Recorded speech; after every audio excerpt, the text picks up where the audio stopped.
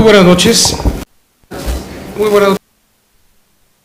En ausencia de nuestro presidente, el doctor Salvador Rivero Bocher, y de nuestro primer secretario propietario, el doctor Arturo Gutiérrez Menés, eh, como primer secretario suplente tengo el honor de ir a la sesión reglamentaria del Colegio Mexicano de Ortopedia y Traumatología. Iniciaremos con la lectura de la tercera sesión reglamentaria del eh, 03 del 2012 del Colegio Mexicano de Ortopedia y Traumatología, celebrada el miércoles 11 de abril de 2012. Pasamos la palabra al doctor Eric Jarpeña. Buenas noches.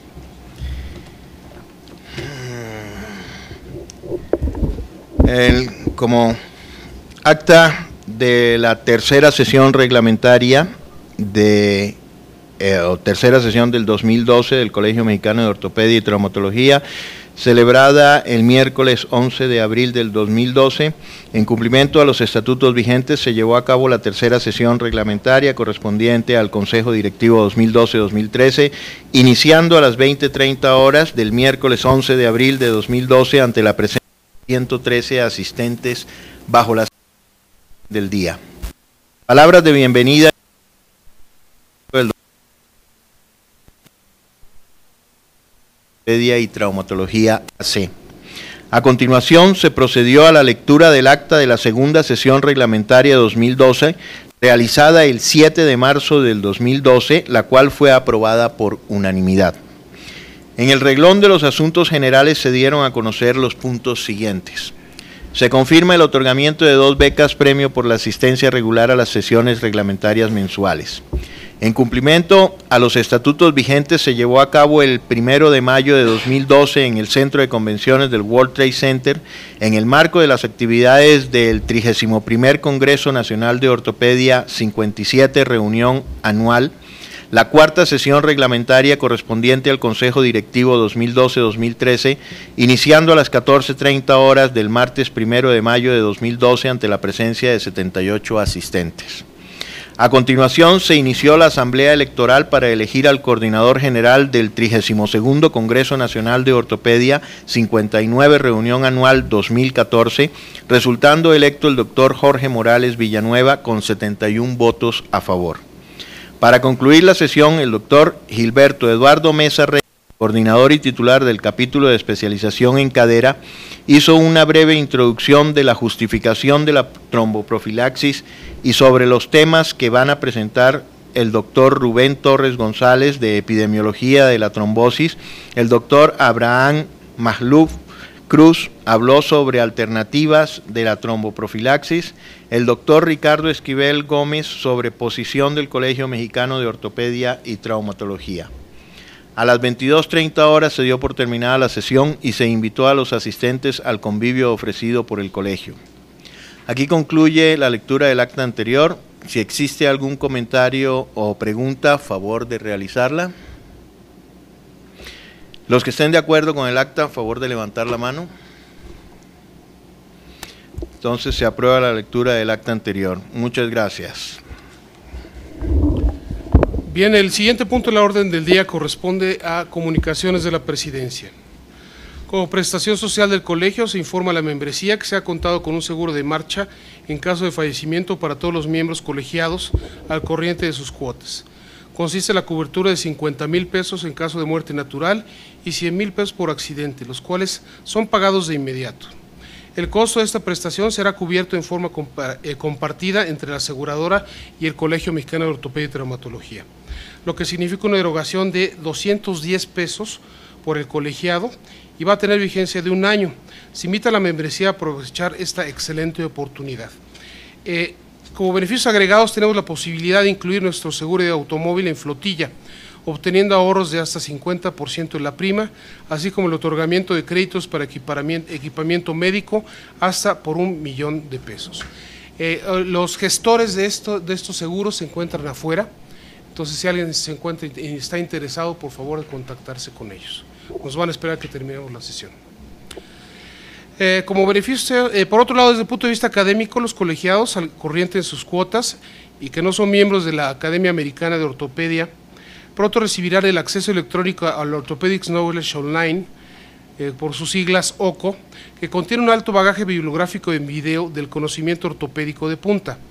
Es una oferta educativa que representa un beneficio importante para tu actualización y constituye una prestación sin precedentes en nuestro colegio. Los miembros internacionales de la Academia Americana y el Colegio Mexicano de Ortopedia tienen su acceso personal, por lo que no, proporcionaremos, no lo proporcionaremos en estos casos. Entonces es importante que si no son miembros de la OS, eh, eh, pueden eh, consultar este loco online, en breve en la página de internet. Como asuntos generales, se recuerda la membresía que durante el presente año se va a adjudicar una beca semestral entre los miembros al corriente de sus cuotas y que tengan el mayor número de asistencias en las sesiones reglamentarias. Las becas incluyen traslado aéreo en clase turista, inscripción al evento y hospedaje para acudir al 49 Congreso Nacional 2012 de la Sociedad Española de Cirugía Ortopédica y Traumatología, la SECOT, en Málaga, España, los días del 3 a 5 de octubre y el Congreso Anual del 2013 de la Academia Americana de Ortopedia a realizarse en Chicago, Illinois, del 19 al 23 de marzo. Se le informa a la membresía que están transmitiendo la sesión en vivo por vía internet en la liga www.livestream.com biblio manasteca eh, pláticas médicas. Se inició también el tercer diplomado de formación de profesores en ortopedia, avalado por la Escuela Superior de Medicina del Instituto Politécnico Nacional, coordinado por el doctor Ignacio Cancino Quirós, en la modalidad semipresencial, los viernes eh, de cada, cada 15 días, eh, dos viernes este, al mes, del 11 de mayo al 14 de diciembre del 2012. Se informa también a la membresía que la Sociedad Mexicana de Medicina y Cirugía del Pie hace organiza el primer Congreso Internacional de Cirugía de Pie y Tobillo, décimo curso taller de patología quirúrgica del pie, el cual se va a realizar en el auditorio Nanahuatzin del Instituto Nacional de Rehabilitación del día 18 al 21 de septiembre de este año. La Sociedad Mexicana de Medicina y Cirugía del Pie otorga al colegio 15 becas para sus miembros colegiados. Los interesados, favor de comunicarse en las oficinas del colegio.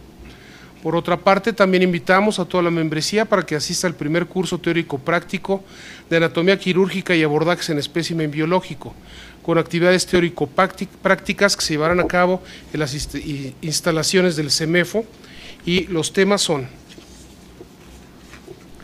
extremidad pélvica, cadera, rodilla y tobillo los días 27 y 28 de julio, extremidad torácica, hombro, codo y muñeca los días 26 y 27 de octubre.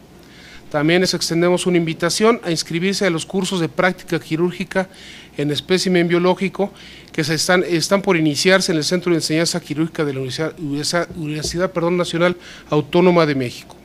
Y están a cargo de los titulares de capítulo y contaremos con el instrumental e implantes para práctica de alta especialidad cursos que tienen el reconocimiento curricular correspondiente y cuya programación es la siguiente. Hombro y codo, 15 y 16 de junio. Pie y tobillo, 4 de agosto. Rodilla, 30 y 31 de agosto. Rodilla, 8 de septiembre. Cartílago, 29 de septiembre. Muñeca y pequeñas articulaciones, 5 y 6 de octubre. Cadera, 16 y 17 de noviembre. Pueden consultar en la página eh, web todos estos, estos cursos. Es importante que se inscriban lo más pronto posible porque sí se llegan a llenar, entonces hay mucha demanda de esto. Eh, con este informe se concluyen los asuntos generales. Eh, por parte de la membresía, ¿hay algún asunto general que quiera tratar?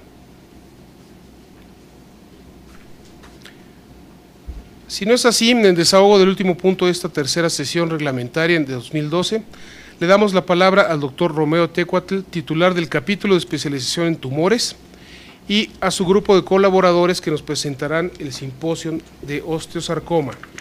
Tenemos como invitados a el doctor mismo doctor Romeo Tecuatl, al doctor Luis Miguel Linares González, la doctora Adriana Atencio Chan, el doctor Rubén Amaya Cepeda, la doctora Bertina Díaz de Jesús, el doctor Luis Felipe Moreno Hoyos y el teniente coronel doctor Saúl Israel Guzmán Espinosa. Cada uno de ellos será presentado por el doctor Tecuatl. Doctor, si es tan amable. Bienvenidos. ¿Sí se escucha? Sí. Bienvenidos, buenas noches.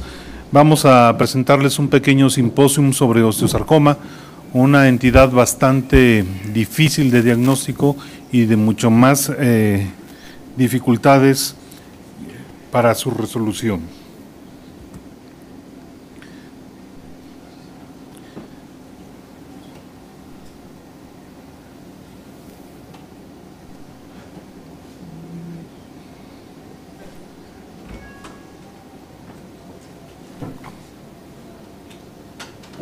¿Con cuál la abrimos? F5, ok. Bien, ¿qué cosa es el, el osteosarcoma? El osteosarcoma son una serie de neoplasias, estas son de origen maligno y tienen eh, su asiento en el tejido mesenquimatoso. Está constituido por células fusiformes y tienen un rasgo en común todas estas neoplasias que llegan a producir un hueso, un hueso inmaduro, llamado osteoide. Habitualmente estas entidades se presentan en pacientes adolescentes y adultos jóvenes. Podemos encontrarlo con el sinónimo de sarcoma osteogénico. Constituyen aproximadamente el 20% de todos los tumores primarios de hueso, según Dagling en 1986 se considera en Estados Unidos, que tienen estadísticas de, en cuanto a salud mucho más eh, precisas que las nuestras, se consideran que existen alrededor de 400 a 1000 casos nuevos anualmente. El, el 75% de estos tumores se va a presentar en pacientes menores de 25 años de edad, de acuerdo a los criterios que encontró el doctor Mirra. Se ha observado predilección, eh, no, no se ha observado alguna predilección por alguna raza o alguna etnia, es una neoplasia de crecimiento muy acelerado que puede alcanzar grandes volúmenes como los que estamos observando ahí, que localmente puede progresar de manera intensa y la causa primordial por la cual va a fallecer el paciente va a ser la progresión de la enfermedad y las metástasis pulmonares. Hay algunos factores que pueden predisponer a esta entidad, como son la enfermedad de Payet, el infarto o los infartos óseos previos, la displasia fibrosa, la radiación eh, ionizante, el retinoblastoma, existe un GNRB el cual hay una asociación marcada directamente entre retinoblastoma y la presencia de osteosarcoma, la enfermedad de Oler y el síndrome de Lifraumeni, que es la proliferación o la posibilidad de presentar algunas neoplasias, entre ellas el osteosarcoma. En el Hospital de Ortopedia, doctor Victorio de la Fuente Narváez, anteriormente Magdalena de las Salinas, casi todos lo conocen más por Magdalena. Em, en la casuística que teníamos hasta el año 2000, teníamos captados 3.980 casos, de los cuales 263 eran osteosarcomas para formar aproximadamente el 6.6% de todos los tumores. Como ustedes ven, la rodilla va a incluir aproximadamente 179 casos, que sería el 68% de todas las lesiones de osteosarcoma en el hospital, las encontramos alrededor de la rodilla, es decir, fémur distal, tibia proximal o algunas veces en el peroné proximal. La gran mayoría de estos eh, tumores se van a estar alojados en esta ubicación. Prácticamente no hay una diferencia de relación entre el sexo masculino y femenino, la relación que encontramos es de 1 a 1.03, que prácticamente no hacen diferencia. En cuanto a la distribución por décadas de edad, veremos que entre los primeros 20 años está la gran mayoría de estos pacientes. Son pacientes jóvenes que necesitan de un diagnóstico temprano para poder establecer una terapéutica adecuada, tratar de conservar la extremidad de la vida, pero sobre eh, tratar de conservar la extremidad del paciente, pero sobre todo la vida de ellos mismos. Para eso organizamos este pequeño simposio y los voy a dejar inmersos dentro del campo de la histología. Ah, no, perdón, eh, con el doctor eh, Luis Miguel Linares para que abordemos el tema de abordaje diagnóstico en osteosarcoma. ¿Cuál es la tuya? ¿Cuál es la tuya?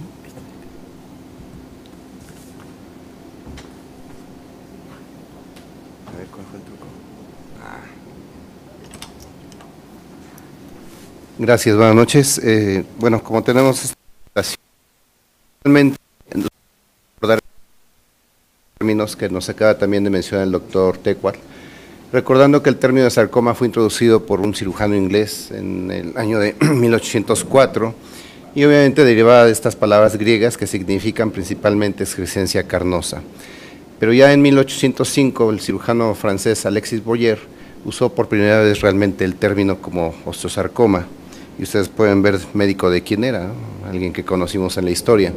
La edad promedio coincide precisamente con lo que nos acaba de mencionar el doctor Tecual, principalmente eh, el 30% viene siendo como tumor primitivo maligno de hueso, lo que se llega a presentar, y en niños y adolescentes hasta el 80%.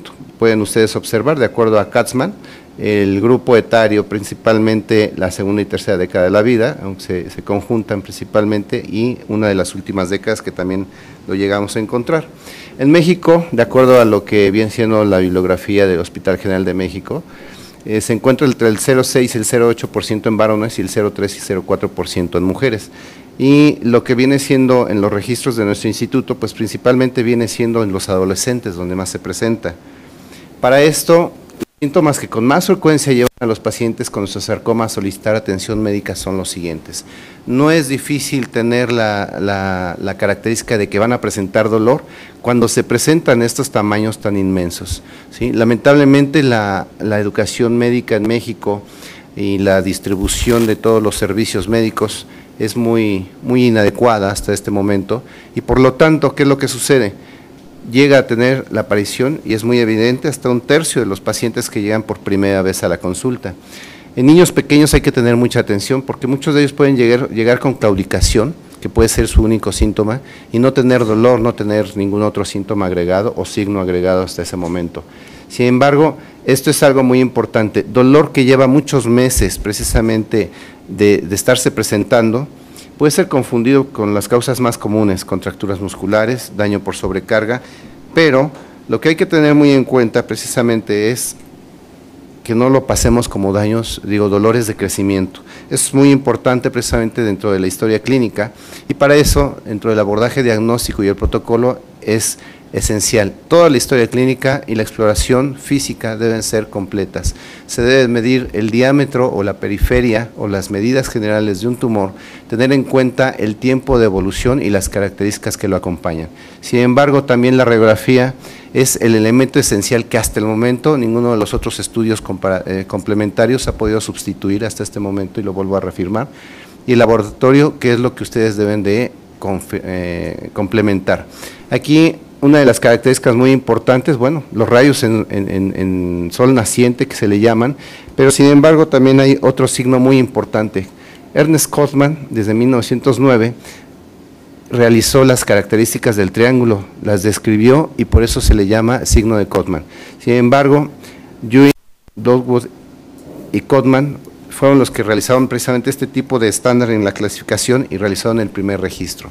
Continuando con esto, en la mayoría de los sarcomas ustedes van a, poder observar que a veces no se sienten enfermos los mismos pacientes, sino solamente ven que algo les va creciendo. Sin embargo, algunos no presentan, otros, los muy pocos, pueden llegar a presentar fiebre, un mal estado general, que esos ya cuando llegan en un estadio más avanzado, de acuerdo a los meses que tenga de presentación, es conforme se va a ver este estado general eh, afectado. Y no todos los pacientes tienen una típica facies eh, de osteosarcoma, por decirlo así. En las fases iniciales se pasa por alto muchas cosas. Para esto el estudio de laboratorio debe ser muy cuidadoso la interpretación de todos ustedes. ¿Por qué? Porque los resultados a veces no pueden ser tan específicos cuando es una etapa inicial. ¿Y por qué? Porque vemos que el fósforo, el calcio, la fosfatasa ácida, la fosfatasa alcalina, prácticamente todos se pueden encontrar dentro de los rangos normales. Sin embargo, esta, lo que viene siendo la velocidad de cimentación, los niveles de proteína C reactiva, la fosfatasa alcalina y la deshidrogenasa láctica pueden estar elevados, como en algunas de las características que nos menciona Bashi desde 1993, que previos a los tratamientos, la evaluación de la fosfatasa alcalina, aproximadamente en 50% de los pacientes puede estar asociada a un riesgo aumentado para una recidiva, para que la presente. A lo mismo que menciona Meyers y Bashi, que es la deshidrogenasa láctica, que puede, al estar tan elevada, tener un mal pronóstico, presumiblemente por el tamaño del tumor o la agresividad biológica. Tanto es así que les pongo este, este ejemplo de uno de los pacientes que hemos tenido también nosotros, y ven la fosfatasa, la fosfatasa alcalina, 1316. Nos sorprende muchas veces que lleguen con estos niveles. ¿sí? Vean la deshidrogenasa láctica 334 cuando tenemos los valores de referencia entre unos y otros. Entonces nos sorprende muchas veces el tiempo de referencia, ¿sí? y sin embargo, si uno no tiene atención precisamente a un cuidadoso examen de una articulación que es donde más se va a presentar, también se presenta en pelvis y en columna, pero si no hacemos ese cuidadoso estudio, pues se va a retrasar muchas veces todo esto. Dentro del protocolo, bueno, la tomografía en un osteosarcoma esclerosante muy grande, etcétera, ¿qué es lo que sucede? Tenemos que ver las características de imagen, pero también asociadas, eh, apoyándonos incluso en angiotac, o las características de los eh, cortes axiales, las eh, vemos todo lo que ve la radiografía, se corrobora, pero sin embargo también hay que estar, estar, atentos no solo a que tenga presencia de metástasis pulmonares, sino que también debemos de verificar lo que viene siendo ¿sí? la región interna. Ahora bien, continuando, la resonancia magnética son los dos elementos esenciales y complementarios. A lo mejor no tenemos la resonancia, pero tenemos la, tomografía o viceversa. Sin embargo, las características de estos grandes tumores, ¿qué es lo que nos da? Invasión intramedular, que a veces no solamente porque sea un solo corte el, que está presente, no podamos estar pensando en que tenga una, metástasis saltarina. Las características de invasión a los tejidos blandos, y como lo vemos en este mismo paciente, las mismas características intramedulares, extramedulares, las de partes blandas con invasión, ¿sí? y las características que se tienen en los dos tiempos T1 y T2. La gamografía, este es un elemento muy esencial, eh, creo o considero que todos los hospitales deben de contar con este tipo de estudios como un complemento necesario. ¿Por qué? Porque no todos los niveles tienen este, este tipo de complemento necesario. Y Obviamente, este radiofármaco que es derivado del, isonitrilo, pues nos va a dar precisamente una difusión muy importante hacia las membranas y vamos a llegar, como antes decíamos, hasta la mitocondria. Así tenemos que llegar con este estudio. Es con una alta sensibilidad del 98% y una especificidad entre el 85 y 95%, de acuerdo a los que manejan medicina nuclear. Sin embargo, es un excelente estudio para descartar lo que nosotros llamamos el, el trabalenguas de MIBE, el metoxisonitril y sobutrilo, precisamente para una lesión maligna antes de la biopsia. Ya nos orientó precisamente, pero sin embargo también podemos tener un falso positivo. Confirmar precisamente todo esto por medio de la biopsia, pero vean dos casos diferentes, cómo están avanzados entre uno y el otro, vean las características de captación, las, las fases iniciales, ¿sí? las vasculares, las estáticas y este, las fases finales. En este caso, podemos nosotros observar las características, nos pueden dar alguna otra, acá arriba, no, no sé si lo alcanzan a distinguir ustedes, cerca de mediastino, como se observaba en la tomografía anterior, se ve una captación. Esto nos puede dar incluso una, eh, un avance, incluso hasta de seis meses previos a que apareciera una lesión nueva en dentro del hueso. Continuamos con la biopsia, de preferencia eh, biopsias pequeñas, no tan agresivas. ¿Por qué? Porque tienen estas complicaciones y lamentablemente esas complicaciones van en contra del paciente. ¿Qué es lo que sucede? Se hacen biopsias con trefina generalmente o biopsias incisionales muy pequeñas, se obtiene la muestra, como lo pueden ver en estos dos casos diferentes, un material adecuado y qué es lo que nos describen en la parte microscópica y cuál viene siendo el diagnóstico definitivo por, definitivo por parte de patología. No se les olvide siempre medir las, eh, la periferia de los tumores porque la quimioterapia también ayuda a reducir esto. Díganles no, por favor, este tipo de incisiones no las hagan, siempre el eje transversal es erróneo, ¿sí? siempre tiene que ser longitudinal, precisamente porque después se batalla para las, eh, las cirugías. Este señor que nosotros mencionamos mucho, William Enekin y Mankin, son los que realmente desarrollaron precisamente este tipo de, estadificación, ¿sí? los de bajo grado y los de alto grado dentro de un compartimento y fuera del compartimento. Ya los que son grado 3 ya son cualquiera de los anteriores con metástasis pero con esto nosotros hacemos un abordaje precisamente para decisión, qué es lo que se le va a ofrecer al paciente. Sin embargo, todo esto, todavía tenemos un arma más, eh, digamos, más novedosa, pero no está al alcance de todos, ni siquiera de algunas instituciones. ¿sí?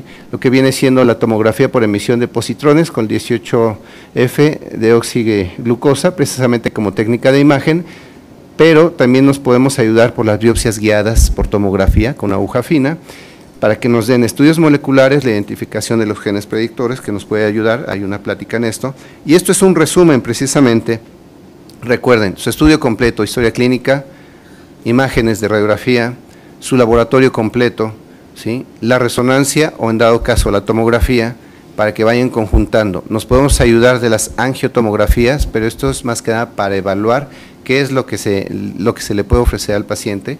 ¿sí?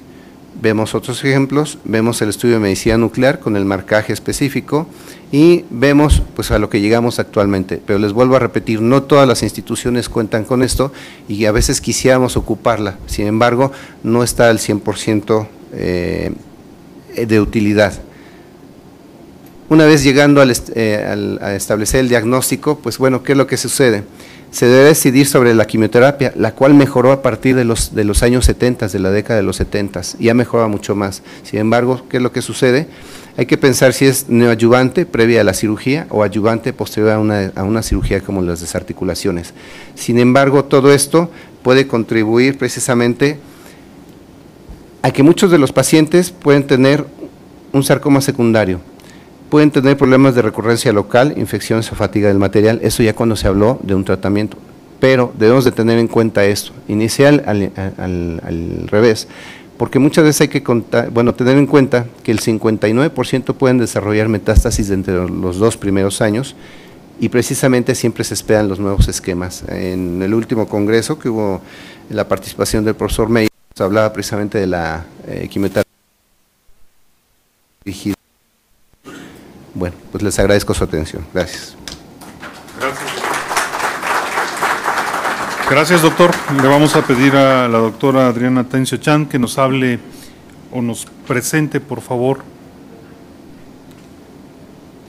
los tipos histológicos del osteosarcoma.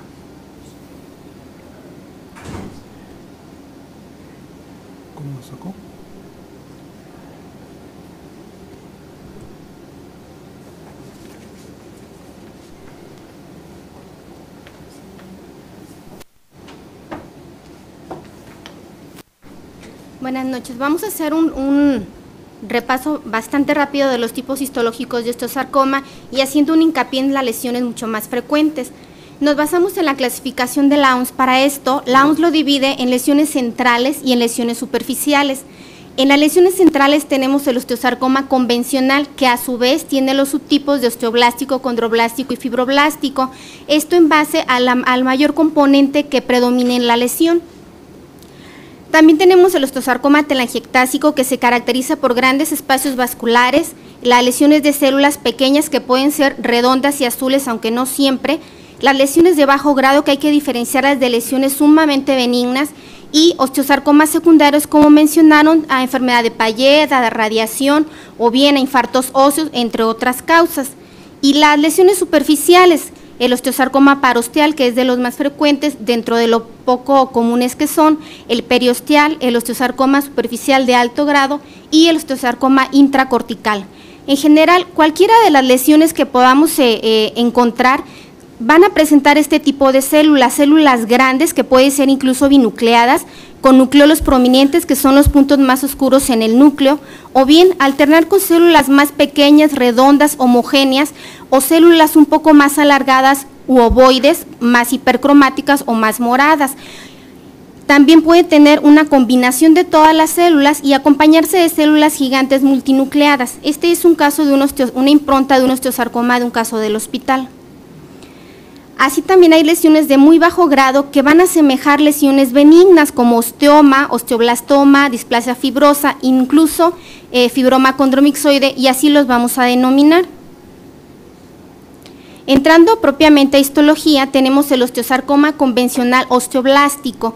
Este, como su nombre lo dice, predomina la, la formación de osteoide con diferentes grados de mineralización, que es lo más basófilo que observamos, y aquí es tanto el osteoide que la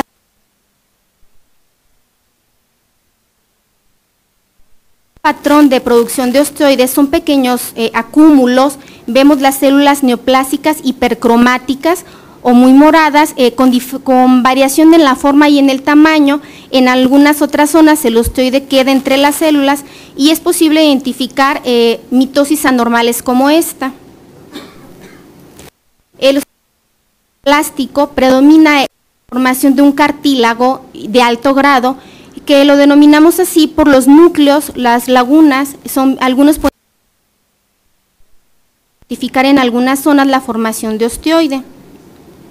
Y el fibroblástico, en este lo que predomina son células eh, que van a tener una forma alargada, eh, con núcleos eh, hipercromáticos y que en algunos casos el osteoide, que en este caso lo observamos en esta esquina, puede ser tan escaso que nos hace o nos obliga a diferenciarlo de otras lesiones mesenquimatosas eh, fusiformes.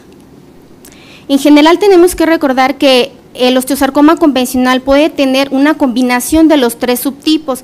Puede ser condroblástico con áreas fibroblásticas, osteoblástico con áreas condroblásticas.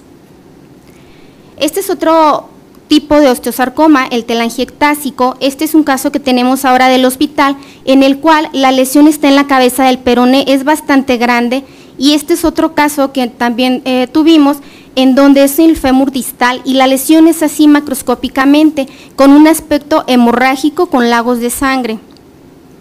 En los cortes histológicos, ¿qué es lo que vamos a buscar?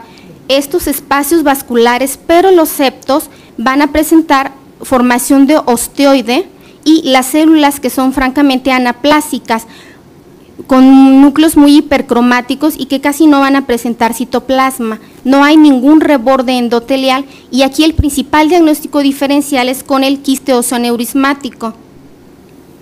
El osteosarcoma de células pequeñas, esta es una las células son mucho más homogéneas. Hay quien dice pequeñas, redondas y azules, que puede adoptar diferentes patrones. Uno, la formación de un osteoide bastante más mineralizado y otras en donde el osteoide va a quedar entre las células y en este caso van a ser eh, filas o hileras de células neoplásicas con algunas mitosis anormales y el osteoide va a quedar entre estas hileras. Aquí el principal diagnóstico diferencial que sí en verdad causa problema es el con el linfoma. El osteosarcoma de bajo grado, esta lesión eh, se caracteriza porque el estroma va a ser de células fusiformes, alargadas que incluso podrían confundirse con un tejido fibroso. Sin embargo, si si ponemos más acuciosidad, vamos a observar que las células alargadas son más hipercromáticas, no hay un reborde osteoblástico como tal, y las trabéculas óseas van a ser paralelas entre sí. Entrando a los osteosarcomas de superficie, tenemos al osteosarcoma parosteal. Esta es una imagen muy característica de su presentación y se origina en la capa más externa del periósteo.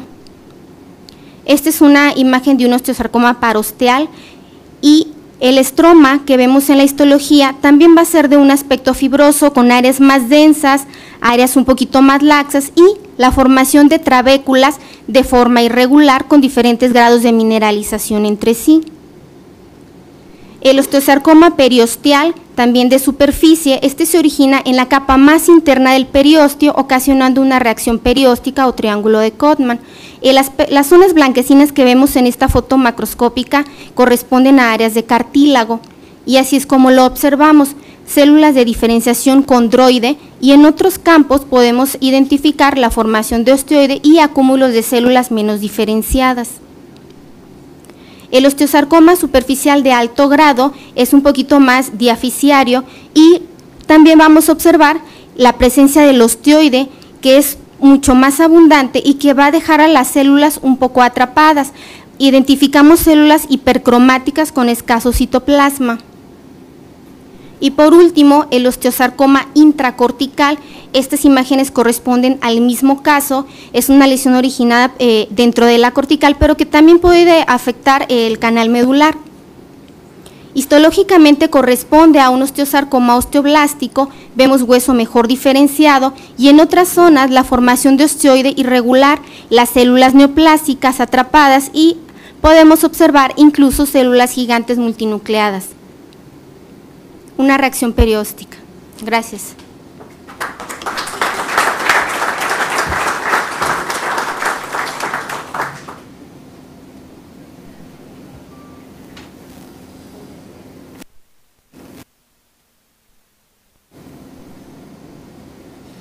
Bien, para continuar con el programa le vamos a pedir al doctor Rubén Amaya Cepeda que nos platique en cuanto eh, ¿a qué pacientes nosotros podemos ofrecer una cirugía de rescate y a qué pacientes debemos de amputar?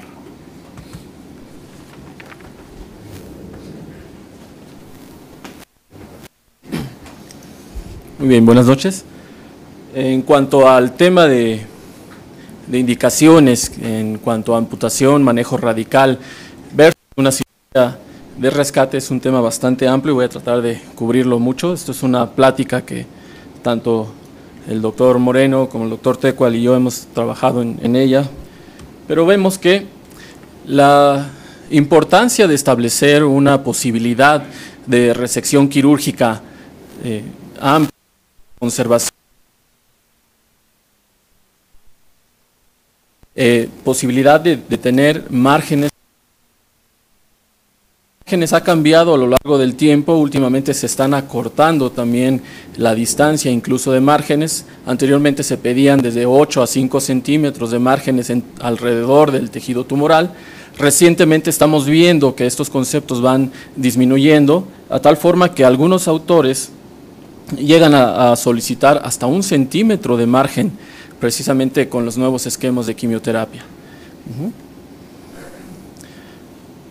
Y vamos a ver también que el esquema de margen quirúrgico también cambia en cuanto a el nivel del tejido donde estoy trabajando. El esquema a nivel del tejido óseo todavía se pide 5 centímetros de margen de resección, pero si tenemos estructuras como el músculo, esto ha disminuido, ya se pide un centímetro de músculo de cobertura en algunos institutos. En algunos otros lados el cartílago también se puede llegar a tomar un margen más pequeño dependiendo de la localización de la lesión e incluso a nivel arterial y nervioso el margen puede ser de milímetros, precisamente por eh, la conservación y la funcionalidad de esa extremidad.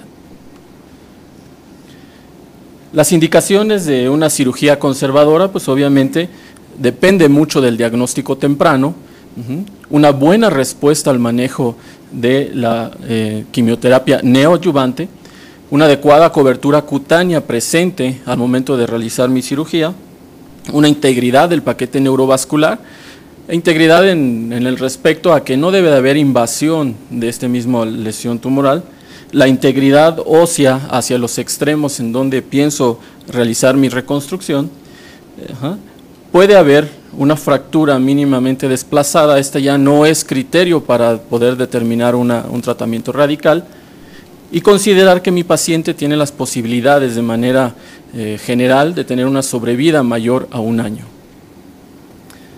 Factores secundarios a, a considerar, la edad de mi paciente. Tenemos pacientes que ya vimos este tipo de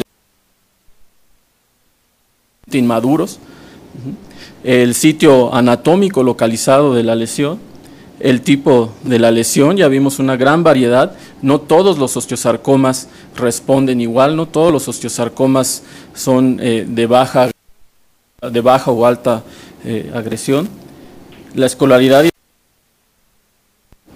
la cooperación para la rehabilitación y los cuidados posteriores y las expectativas del paciente en cuanto tiene. Ya hemos visto la cirugía conservadora, desafortunadamente no es una cirugía en donde se puede realizar en, cualquier sitio, eh, en cualquier instalación hospitalaria.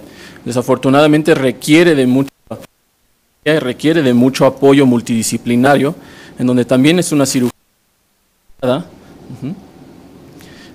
Dependemos de un diagnóstico temprano para limitar el crecimiento tumoral y una buena respuesta a la quimioterapia para poder ofrecer una reconstrucción y una eh, preservación de la extremidad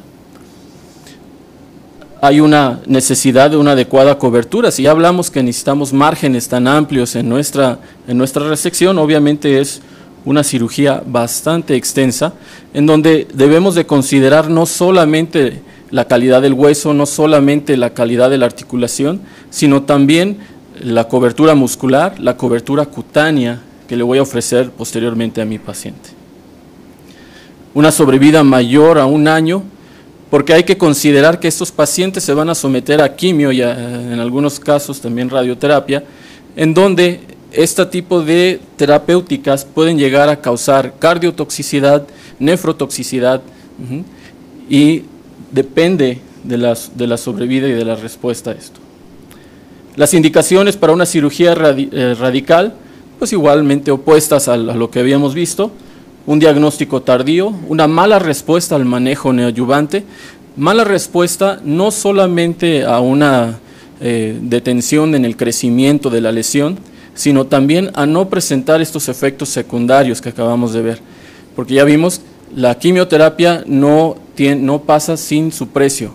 Puede llegar a afectar eh, tejido cardíaco, tejido renal y causar un compromiso sistémico de mi paciente una falta en la cobertura cutánea, ya lo vimos, el doctor Linares hizo mucho hincapié en este tipo de abordajes que se hacen para hacer una biopsia transversales, en donde me comprometen altamente la cobertura. Eh, los manejos quirúrgicos previos, con gran contaminación de los tejidos, y en algunos casos pacientes esqueléticamente inmaduros. Las indicaciones continúan, no, no paran desafortunadamente ahí la, incisión quirúrgica inadecuadas previas, también con contaminación del paquete neurovascular. Hay que recordar que este tipo de lesión va a seguir creciendo, incluso va a presentar metástasis. Entonces un paciente con eh, presencia de metástasis también está en duda la posibilidad de realizar una cirugía de rescate. Punciones múltiples, biopsias inadecuadas, extrusión tumoral, procesos infecciones agregados e incluso problemas que acorten la vida de mi paciente. Nuevamente este tipo de lesiones así no es como las queremos eh, obtener, desafortunadamente así es como se presentan, gigantescas masas tumorales por diagnósticos tardíos. El tumor sigue creciendo, no va a parar en piel, puede llegar a incluso a tener eh, una fungación a través de la piel y tener una extrusión tumoral mala respuesta a la quimio, aún así después del diagnóstico oportuno, este, el crecimiento tumoral llega a extender a toda la extremidad. Vemos que incluso el tumor no es, eh, no, no es al 100% seguro que todos respondan a la quimioterapia. Pacientes esqueléticamente inmaduros en donde la lesión también presenta un gran volumen, pues igual el tratamiento radical es por el cual hemos optado. Y desafortunadamente esto que vemos de las incisiones inadecuadas. Abordajes transversales en lugares de pliegue, aquí cerca de la ingle, o en la región posterior del hombro, igual también transversales, que a lo mejor el cirujano tenía toda la buena intención de ayudar al paciente, pero desafortunadamente solamente complica el cuadro. La presencia de metástasis con gran masa tumoral, la prioridad del, abordaje de este tipo de pacientes es siempre la vida. Posteriormente ya veremos la extremidad y posteriormente ya veremos la función. Los márgenes quirúrgicos insuficientes, esto es muy importante, por eso el esquema inicial, en donde vemos que el tumor no se limita al hueso, no se limita al músculo e incluso ya no se limita a la articulación. Sigue avanzando, sigue creciendo, a tal punto en donde ustedes pueden abrir directamente epidermis y encontrarse con la masa tumoral. La falta adecuada de una cobertura cutánea también me compromete la reconstrucción. La exposición de estos implantes que vaya a dejar o este tipo de injertos en mi paciente también es un alto riesgo, es una de las complicaciones más frecuentes. Entonces, si no tengo cobertura, no voy a exponer a mi paciente a una exposición posterior. A veces también el problema de eh, la cultura del paciente. Desafortunadamente no aceptan al tratamiento inicial, van y buscan otras alternativas de tratamiento y nuevamente el tumor no se detiene. Lesiones tumorales también que se manejan en ocasiones como benignas. Esta paciente presentó una fractura a pesar de su lesión y empezaron pues con este fijador pero desafortunadamente lo único que se logra es múltiples puntos de punción, múltiples heridas y contaminación de toda, de toda la región del muslo. Cirugías inútiles, porque precisamente el foco estaba y la atención estaba centrada en cuanto a la fractura del paciente y no eh, necesariamente en la lesión que presentaba. Incluso este paciente, aparte de sus, tuvo tres cirugías previas y toma también de injerto con posible contaminación del, ilíaco. Entonces, las fracturas también no es el centro del universo de, la ortopedia. Hay que ver también por qué se fractura el paciente, por qué eh, la lesión, porque no queremos esto. Es una pacientita de nueve años, estaba corriendo con su hermano y presenta una fractura solamente por el hecho de correr no hubo caída, no hubo este, algo que lo haya este, desencadenado. Pero aún así, pues bueno, se fijaron solamente en la fractura, entraron, estabilizaron y desafortunadamente la lesión pasó inadvertida con esta consecuencia. Y en estas condiciones, desafortunadamente, no hay mucho que ofrecer al paciente. Muchas gracias por su atención.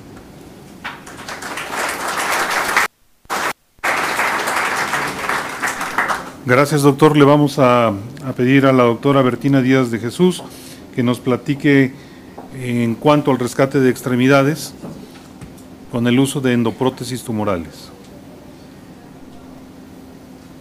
¿Cuál es? ¿Es?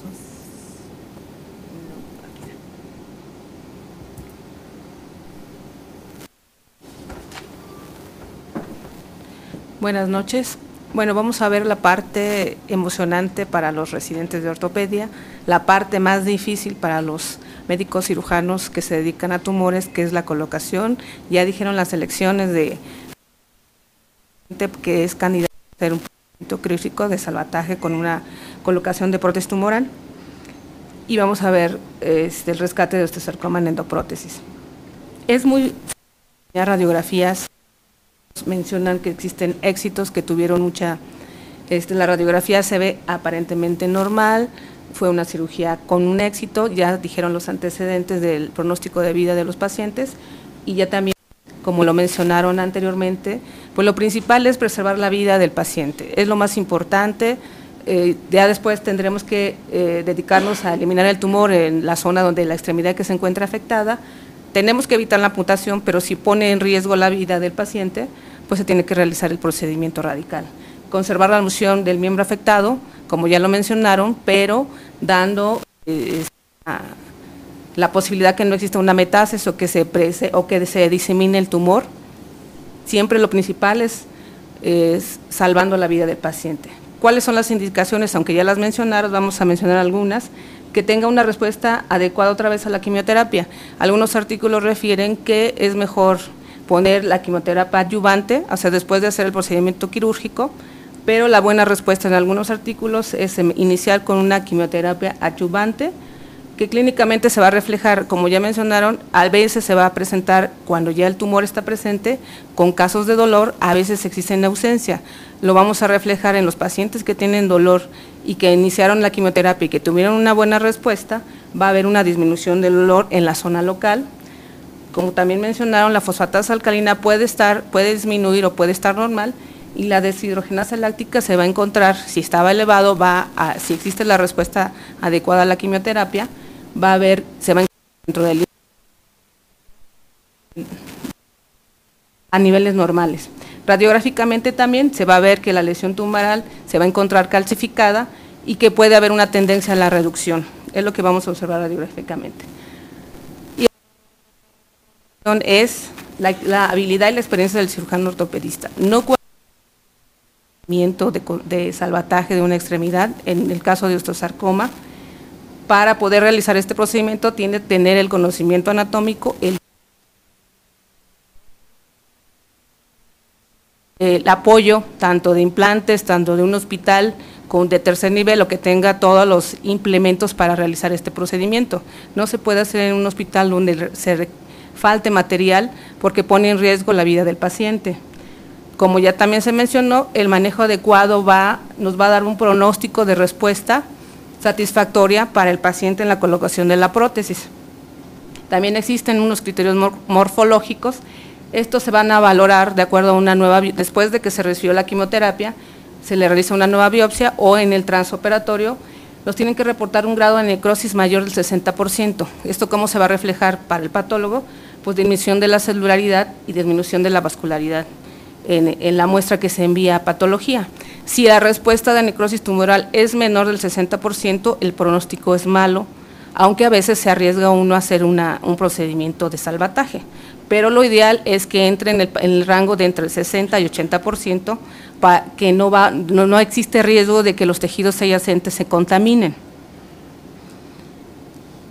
Entonces, una contraindicación que a veces no la saltamos, que es la necrosis tumoral menor del 60%, que se realice, como también ya se mencionó, una biopsia incorrecta, que sean biopsias transversas o que se hayan hecho en articulaciones, que haya contaminación de los tejidos y que al realizar esa biopsia se haya presentado un proceso infeccioso.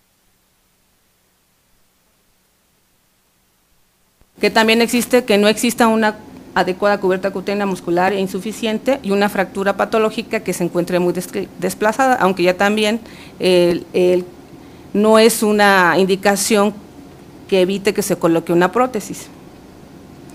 Existen una variedad de, prótesis que han salido en, todo el mundo tumorales, como son las que las principales que son las prótesis tumorales de modulares, de tipo modular, que casi se manejan aquí en, la Ciudad de México, que son las GMRS, que se adaptan a la cadera, a la rodilla, al hombro, y estos van a ir, tienen unos módulos que permiten ir adecuando al tamaño de la resección del tumor. También existen otro tipo de tumores perdón, otro tipo de prótesis que se van realizando en los, en los hospitales de acuerdo a la necesidad. También sabemos que otra de las contraindicaciones para colocar una prótesis es el costo. No todos los pacientes que tienen osteosarcoma tienen la posibilidad económica.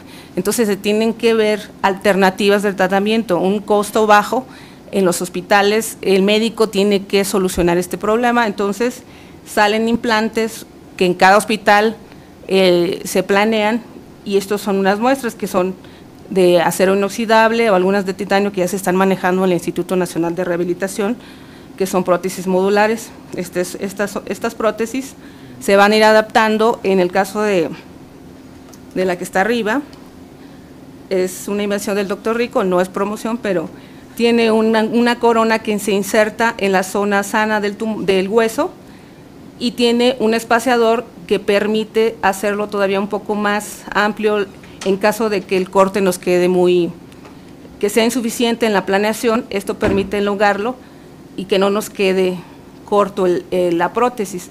Este es otro tipo de prótesis que es humeral. En este, esta otra es que se manda al tamaño, a la medida, se manda la radiografía, la casa comercial lo hace al tamaño que uno indica, pero el riesgo es de que cuando se realice la, colocación de la resección del tumor, puede que sea, quede corto el vástago o que sea insuficiente. Entonces lo ideal eh, pues, es manejar las prótesis no convencionales modulares que se van adaptando al tamaño de las necesidades del procedimiento. Bueno, ya que se hizo una muy buena planeación del, del caso, radiográficamente, como también se mencionó, una angiotomografía, ver que los vasos y nervios no estén comprometidos, ver qué tanto invaden tejidos blandos con una tomografía o con una resonancia, se decide ya un manejo quirúrgico. Entonces vamos a presentar algunos casos de los pacientes con osteosarcoma. Este es un paciente de 17 años de edad que presenta un tumor en tercio proximal de la tibia. En la parte medial se ve una lesión lítica con zonas blásticas en el centro.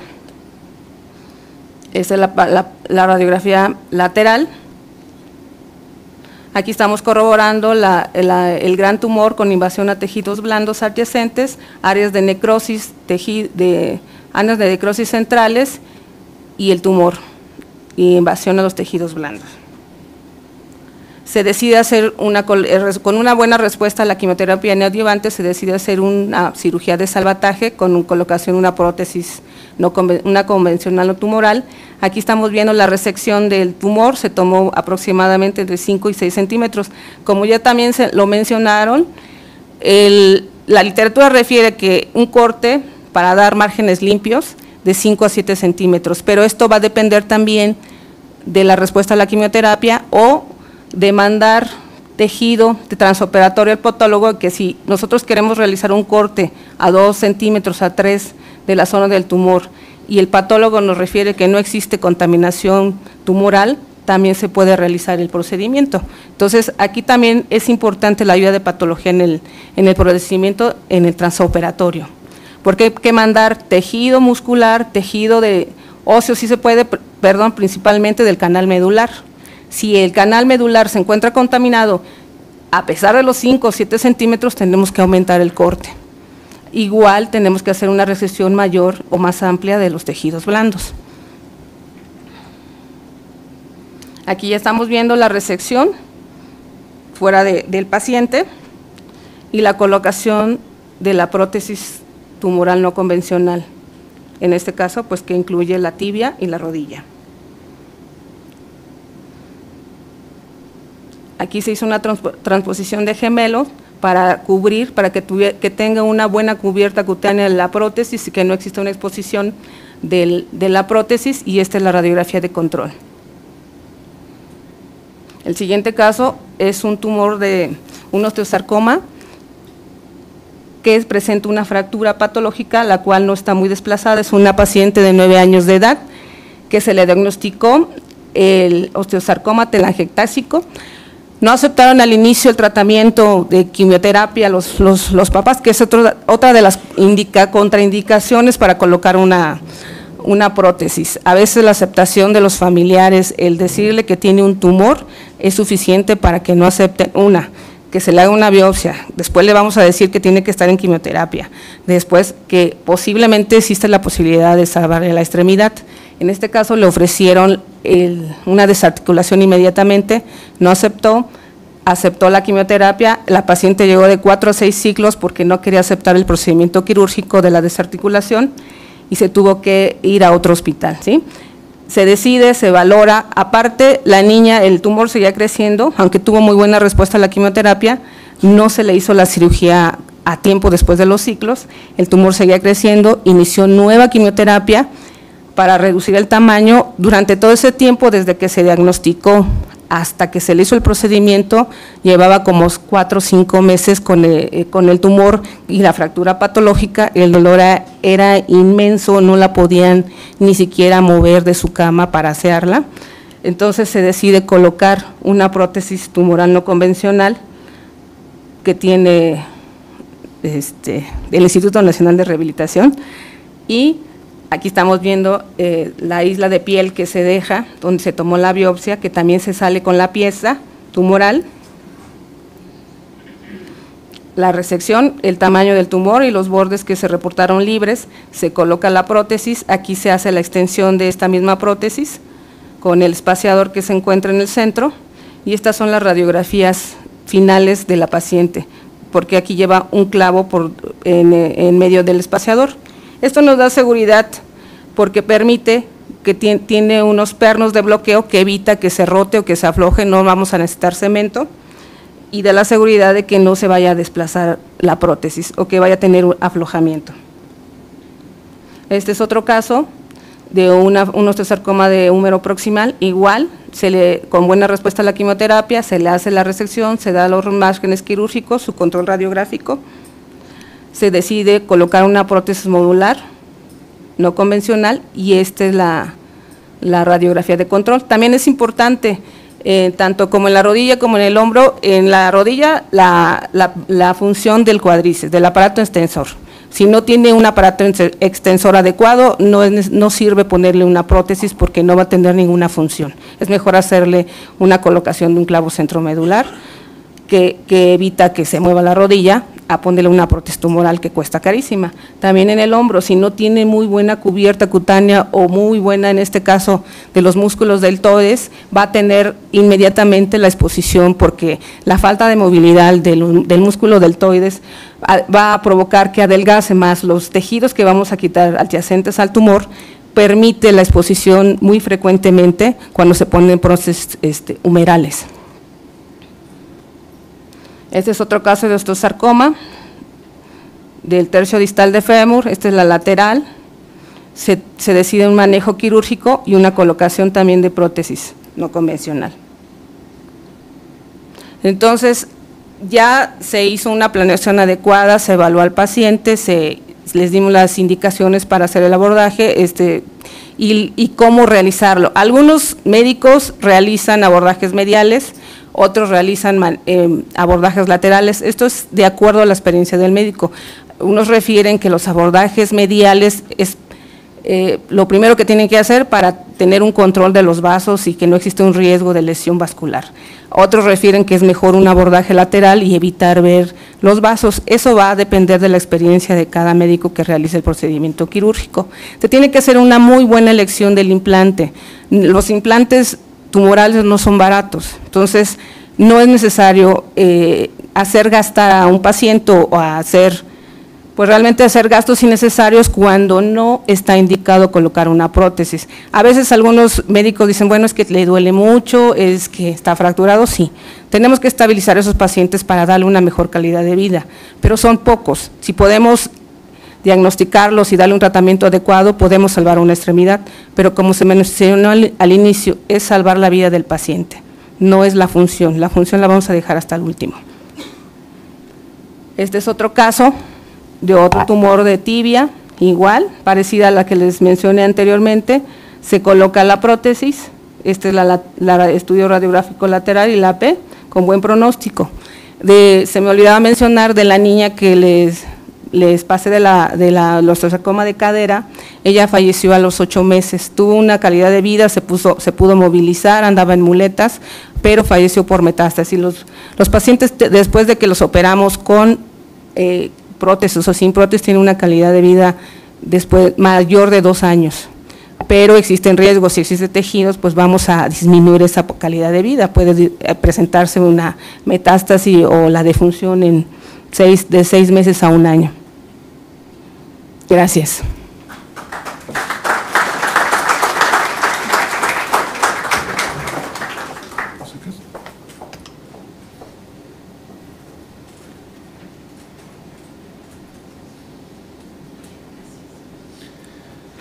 Bien, le vamos a pedir al doctor Luis Felipe Moreno Hoyos que nos abre, nos platique sobre las alternativas de reconstrucción con peroné microvascularizado.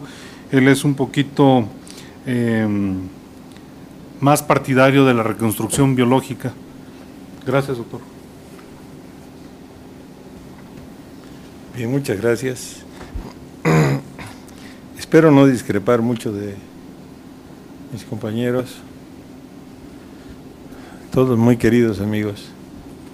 Como vimos, los sarcomas óseos son raros, pero de alta malignidad en niños y adultos jóvenes, los tipos más frecuentes vienen siendo el osteosarcoma y el, tumor de Ewing. La sobrevida en pacientes sin metástasis es del 70%. Cuando menos e, eso es lo que hemos condicionado nosotros en nuestro medio.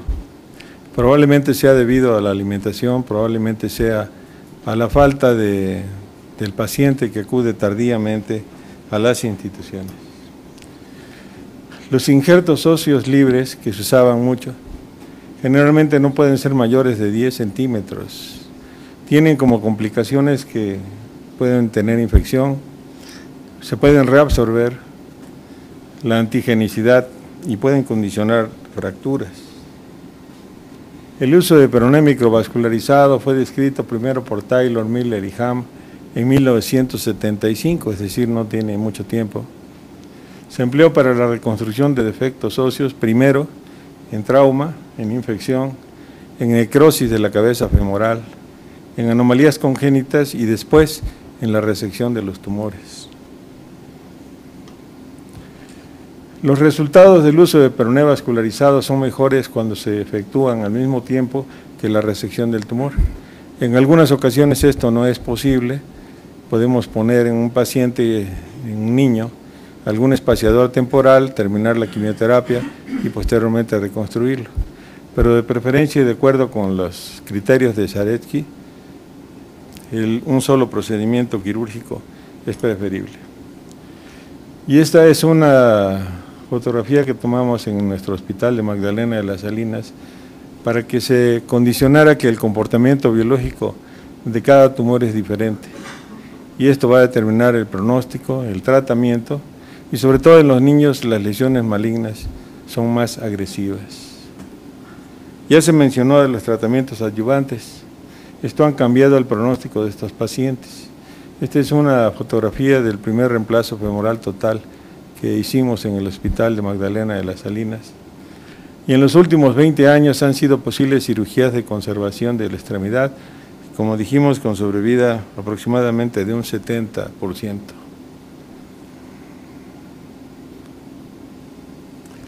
¿De qué depende el salvamento y la reconstrucción? Bueno, depende de la enfermedad, del, estado de la enfermedad, del sitio quirúrgico. Es muy importante también de la preferencia del cirujano, que tenga márgenes libres, ya se vio, que tenga materiales disponibles, pero sobre todo muy importante la prioridad del procedimiento oncológico.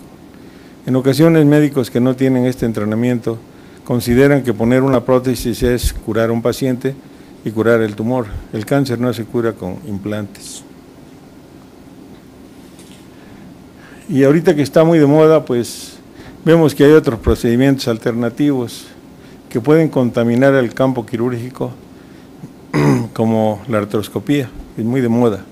Hemos visto casos en los cuales el paciente tenía una lesión en el fémur distal y posteriormente ya tenían los dos huesos de la rodilla. Y esto es algo que en el hospital es muy frecuente, los ojos no, no ven lo que el cerebro no sabe. Al desconocer la biología del tumor y su forma de diseminación, esto conduce a grandes tragedias y a manejos impredecibles.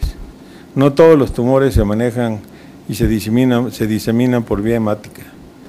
El histohitoma fibroso maligno y el sarcoma sinovial tienen predilección por la vía linfática también. Por lo tanto, aquí tenemos un ejemplo de un sarcoma sinovial que tiene una biopsia en un sitio incorrecto, como ustedes pueden ver, y vean la diseminación ganglionar. Prácticamente un paciente fuera de tratamiento. El autoinjerto, del cual vamos a hablar, se puede usar en las siguientes situaciones. En una neoplasia, en trauma o en infección. ¿Cuál es la característica? Pues es el material, ideal. Como dijo el doctor Tecual, después de haber hecho muchas prótesis, uno tiene que buscar alternativas más duraderas y para mí es muy importante lo biológico en la reconstrucción de los tumores. No es, no es antigénico, es osteoinductor, tiene propiedades osteogénicas, vascularizados, permiten mayor integración y una restitución integral en los casos bien indicados. Y aquí presentamos el uso del peroné vascularizado en caso no indicado para prótesis, es decir, no todo es prótesis, por economía o por cualquier circunstancia, porque no haya mucha cobertura cutánea, por ser pacientes jóvenes y por la localización diaficiaria del tumor, entre otras causas, no son las únicas. El objetivo del tratamiento, lógicamente, que es la prioridad del procedimiento oncológico, volvemos a repetirlo, la preservación de la vida y la función de la extremidad. No es al revés, no vamos a preservar primero la extremidad ¿sí? para poner o comprometer la vida. Y la reconstrucción con peroné vascularizado, que es el tema de esta plática. Esta es la casuística que teníamos hace poco, de 45 casos, condrosarcomas 12, osteosarcomas 12, tumores células gigantes 10, sarcoma de Ewing, condrosarcomas, displasias, etc.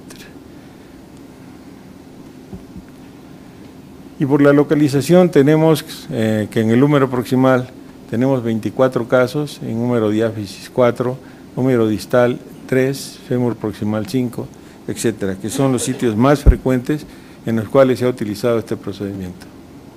Pasaremos a algunos ejemplos. Este es un niño en el cual se había dejado la fisis, te me hizo el favor el doctor Tecual de darme a la cirugía, y hicimos la resección del tercio distal dejando la fisis. A los 14 meses de evolución iba perfectamente bien y después tuvo una recurrencia muy importante. Pero vean ustedes, este es un paso que se da más. Los españoles tenían la idea de la epificio distracción y que se puede dejar perfectamente bien la fisis. Nosotros hemos visto que muchos de estos casos, que aparentemente no lo tienen, no tienen afectación, al momento del corte sí tienen tumor. Entonces tendremos que hacer una resección de la fisis. En este caso pareció un caso adecuado, lo intentamos, no se pudo, pero en los 14 meses nos dio oportunidad para valorar la importancia del peroné y la posibilidad también de una lesión fiscaria no tan cerca. Aquí tenemos otro paciente que tiene, bueno, tenía 6 años de evolución, cuando yo me jubilé, más nueve, son 15 años, el paciente está perfectamente bien. Eh, este paciente fue intervenido en el Centro Médico Nacional y utilizamos una placa semitubular, la cual tuvimos que partir con las manos porque ahí no hay ningún, ningún este, instrumental para ortopedia, pero vean ustedes la evolución. Se le resecó gran parte del deltoides y sin embargo la función del paciente es correcta. Aquí tenemos un caso que yo pudiera considerar como un fracaso, lo comenté con el doctor Teco y el doctor Amaya, los cuales me hicieron el favor de, ayudarme en la cirugía. Y si ustedes ven, tiene un fijador. Y este fijador está contraindicado en cualquier tumor. ¿Por qué lo puse? En primer lugar, porque era un paciente que tenía tres biopsias previas, con diagnósticos y símbolos. En la cuarta, en el hospital, llegamos a la conclusión de que tenía un sarcoma osteogénico. Y entonces yo pensé, esta paciente la vamos a tener que amputar tarde que temprano. Va a haber una recurrencia importante y por eso puse el fijador. Pero en aquel entonces, para no tocar la otra pierna, hicimos un peroné centralizado, como ustedes pueden ver ahí. El mismo peroné vascularizado lo centramos en la, en la tibia y para nuestra sorpresa, esto fue pegando poco a poco. La paciente, no sé, tendrá más de ocho años ya de operada, ¿no? Y actualmente creo que es médico, estaba por terminar su carrera de medicina. Lo confieso así porque yo inclusive le comentaba ya mucho a Maya que en aquel entonces era un joven imberbe y ¿por qué habíamos utilizado este método? Sinceramente porque yo no tenía la confianza de que este paciente tuviera esta evolución. Y dije, bueno, si la voy a amputar, ¿para qué le lastimo la otra pierna? ¿Para qué le quito un peroné contralateral? Si puedo ponerle esto, si voy a hacerle algo, pues entonces se lo centro y miren el resultado. Aquí tenemos otro caso, una paciente femenina de 20 años con un sarcoma osteogénico. Como dice el doctor Tecual, soy muy proclive a los injertos y sí es cierto. Aquí los vemos en el momento en que se está tomando el peroné, en el momento de la, de la este, anastomosis, la pieza quirúrgica.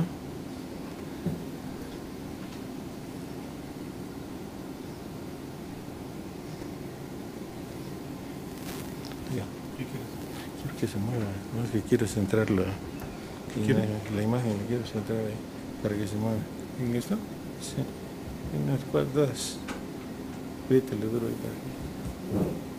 A ver si corre el video. Creo que no. Bueno, desafortunadamente no corrió el video. Era importante. Si ustedes son acuciosos, verán cómo este peroné parece estar libre arriba. Sin embargo, nosotros lo, centralizamos, centramos con la porción larga de, del bíceps, en la porción intracapsular.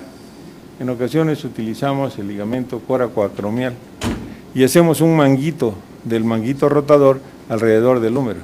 Esto nos permite una buena estabilidad, una buena función del hombro, teniendo mucho cuidado del músculo cutáneo y del radial y hacer todo esto. Aquí tenemos otro caso muy interesante de un niño de 8 años que tenía un sarcoma osteogénico de superficie. El problema vino desde el momento de hacer el abordaje. Pensábamos es posterior, lo hacemos medial, lo hicimos medial. Aquí ven ustedes las características de la lesión. Y en donde hicimos una cirugía un poquito marginal y para reconstruir se puso el peroné también ipsilateral en este sitio, sujeto por una placa de bajo contacto. Este paciente evolucionó bien. Aquí tenemos otro caso que es conocido del profesor Linares.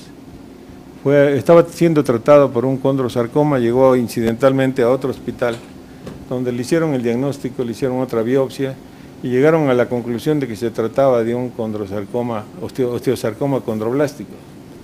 Este paciente eh, habíamos valorado la, aplicación de un peroné vascular pero para nuestra sorpresa y sin poder detectar en los estudios de extensión, vimos que el patólogo nos estaba reportando que había tumor y tumor y tumor hasta que fue necesario la resección completa del húmero. No teníamos absolutamente nada con qué reconstruir más que un peroné de 20 centímetros.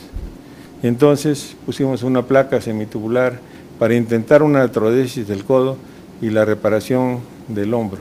Ven ustedes la discrepancia entre un hombro, un brazo y otro brazo, pero bueno, el paciente tenía su brazo. En algunas ocasiones hemos intentado, desde hace muchos años, el doctor Rico decía que esto le había inspirado a él, no sé si sea cierto, pero nosotros cortábamos el tumor y lo metíamos a autoclave. Entonces en autoclave se muere todo. Esto lo hicimos en el Hospital Mosel, donde el paciente después de que nos regresaron el injerto, estaba completamente muerto. Lo limpiamos perfectamente bien, se tomó el peroné contralateral. Y vean ustedes aquí, yo siempre he sido un miedoso de los injertos. A pesar de que me han dicho que tienen todas las bondades, para mí si no le meto un peroné al centro definitivamente no estoy tranquilo. Me da mucho miedo que en un momento dado un injerto de cadáver, pues pueda tener problemas, por lo tanto utilizamos el mismo injerto del paciente.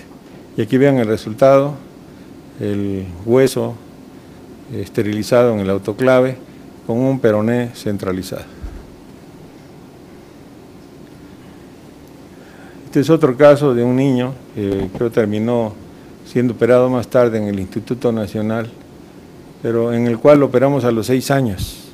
Tenía un sarcoma osteogénico, siguió en control con el servicio de pediatría durante muchos años hasta que después se le aplicó un peroné microvascularizado y una transportación ósea que se lograron 26 centímetros. Hay otros ejemplos que no reúnen el requisito de ser osteosarcoma, pero me he permitido traerlos porque son bastante este, fáciles de explicar. Un quiste óseo con una fractura multifragmentaria, como ven ustedes, la cual se fijó con un fijador. Aquí vean ustedes lo que pasa con el peroné. Dos años después, el peroné ha desaparecido, pero ha reconstruido perfectamente bien la superficie. Ha reconstruido el hueso, vemos las corticales firmes. Aquí tenemos otro caso, de este caso un condrosarcoma en el cual teníamos que había sido operada dos veces. Este condrosarcoma bajó y fue necesario que al operarlo tuviéramos que hacer una gran resección, como pueden ver ustedes. Esta es una fotografía de la anastomosis creada, aquí la vemos, ¿sí? y fue necesario resecar un fragmento, un islote de piel junto con el peroné para poder cubrir esta zona. Otro caso, un condrosarcoma secundario a un osteocondroma. En este caso se pudo conservar la superficie articular, por lo tanto nada más fue interpuesto el peroné. Como ustedes verán en todos estos casos, la osteosíntesis que hacemos es una osteosíntesis mínima. Aquí tenemos un caso de un CA de mama, en el cual también se reconstruyó con un peroné microvascular. ¿Cuáles son las ventajas? Bueno, hay una hipertrofia, como ya lo vieron, puede haber una consolidación temprana, es un injerto compuesto donde podemos utilizar piel, músculos adyacentes al hueso, tiene mayor soporte a la carga, disminuye las fracturas por estrés y da buen resultado funcional. Es luego que puede tener desventajas, parálisis nerviosas, trombosis venosas, retardo de consolidación y un síndrome comportamental del cual en los 45 casos solamente llevamos uno que pudimos resolver afortunadamente por una triple fasciotomía. Algunas consideraciones. El peroné como superficie articular irrigado por la arteria tibial anterior es un procedimiento usado en cadera y niños. Este es un caso del doctor Manfrini. La diáfisis irrigada por la arteria peronea es la que más comúnmente toman los microcirujanos. Las fracturas de estrés ocurren más frecuentemente en extremidades inferiores cuando hay una mala, alineación a nivel del tobillo o bien cuando se hace una remoción temprana de la fijación externa. Esto se trata con inmovilización y osteosíntesis. Y las tres complicaciones predecibles en la extremidad inferior son pseudoartrosis, fracturas por estrés y deformidad en valgo de tobillo cuando no hay una buena alineación. Tenemos que tener las siguientes consideraciones una fijación adecuada que hemos logrado con una osteosíntesis mínima, valorar trombosis no detectadas, procedimientos complejos y desde luego que se necesita un personal que esté calificado en estos procedimientos. Y pienso que a futuro las fallas en las megaprótesis o la infección, estos a los injertos vascularizados pueden ser una buena solución. Y bueno, tal vez el doctor Tecual así me presentó pero en cierta medida estoy un poco peleado con hacer robots. Yo prefiero mejor lo biológico cuando puedo hacerlo. No me niego a las prótesis, definitivamente las seguimos haciendo. Porque en las lesiones tumorales solo se tiene una oportunidad de oro, que es la primera decisión clínica para indicar y efectuar el tratamiento más adecuado para la vida y el futuro del paciente. No debemos quitarles esa posibilidad. Conclusión. Se trata de lograr una mejor calidad de vida, un resultado estético funcional satisfactorio, ya que el índice de sobrevida es igual con un procedimiento radical que con un procedimiento conservador. ¿sí? ¿Qué ventajas tiene? Pues la ventaja de la conservación de la extremidad y la mejoría psicológica del paciente. Y este eslogan es cierto, el cáncer es curable si se detecta a tiempo. Y recuerden, el médico puede curar algunas veces, aliviar frecuentemente pero puede consolar siempre. Muchas gracias.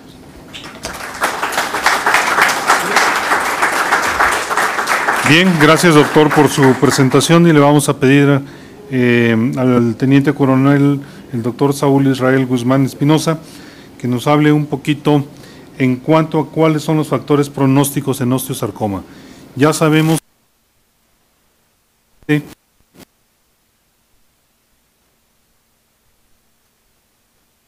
esta lesión, son las alternativas de reconstrucción que tenemos y ahora queremos saber qué expectativas tiene el paciente.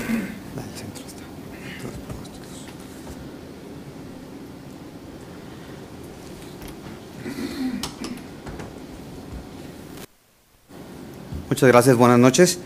Eh, para concluir este, este simposio de osteosarcoma, vamos a hablar un poquito sobre los factores pronósticos en osteosarcoma. Obviamente ya vimos todo lo que es el abordaje diagnóstico, los métodos de este, tratamiento, las opciones que tenemos en cuanto a las reconstrucciones. Pero ¿qué sigue después? ¿Cómo le va a ir al paciente después de todo esto? Bueno, vamos a definir qué es un factor eh, pronóstico. Es una situación, afección o característica del paciente que puede usarse para calcular una probabilidad de recuperación de una enfermedad o bien la probabilidad de que la enfermedad recurra, según los Institutos Nacionales de Cáncer de los Estados Unidos. Y en cuanto a las consideraciones de los artículos que vamos a estar revisando durante esta plática, vamos a ver lo que es un análisis univariado y un análisis multivariado. Obviamente en los análisis univariados es cada uno de los factores cómo afecta. Cada uno de estos factores en forma independiente, cómo afecta en forma positiva o en forma negativa para la sobrevida de este paciente. O sea, qué es un factor pronóstico en forma individual. Pero cuando se combinan, cuando tenemos un análisis multivariado, entonces vamos a ver cómo en conjunto, cómo un conjunto de factores nos puede incrementar o disminuir la sobrevida como factor pronóstico en un paciente específicamente en los pacientes con osteosarcoma. Entonces, cuando revisamos los, eh, nos dimos a la tarea de la, de la, revisión de los artículos, de algunas citas bibliográficas y de algunos libros, vimos prácticamente que los factores pronósticos para osteosarcoma los tenemos en cuanto al tratamiento, en cuanto a la respuesta al tratamiento y en cuanto a la recurrencia.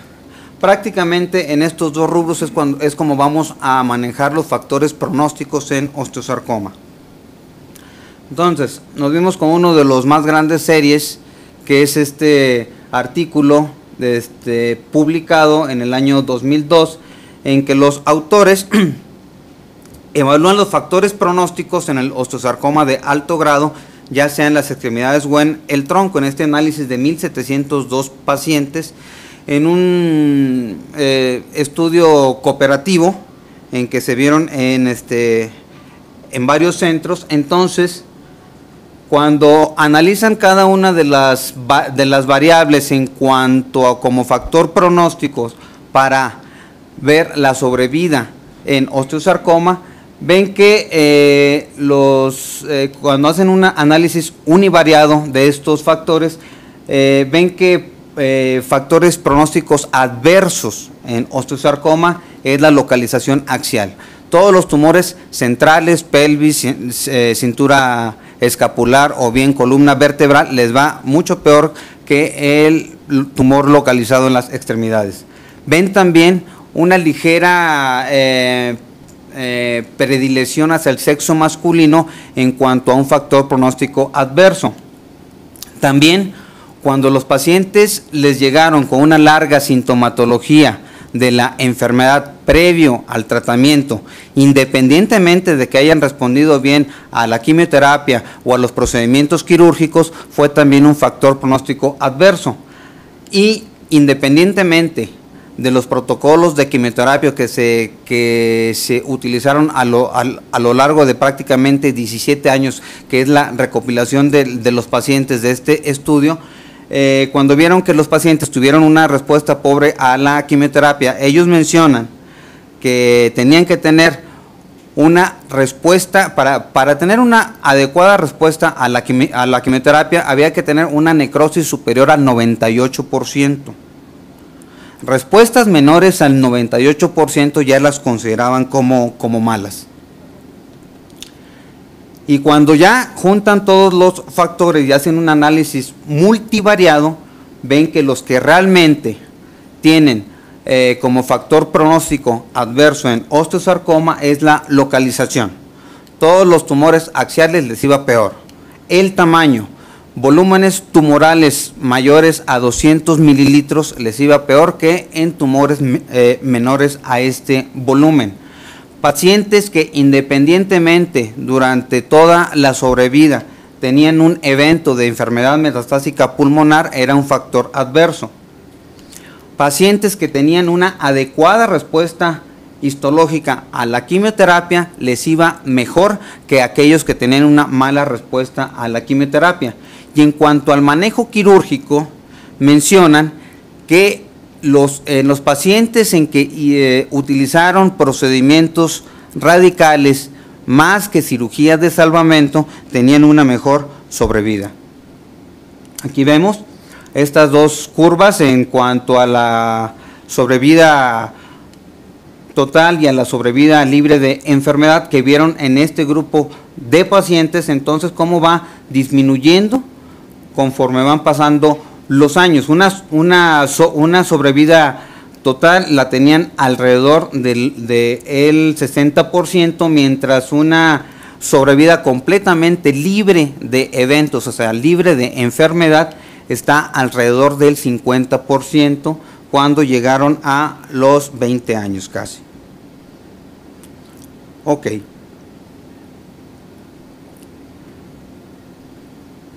En cuanto al análisis eh, univariado, vemos que eh, este es otro artículo que no salió. El, bueno, este es otro artículo.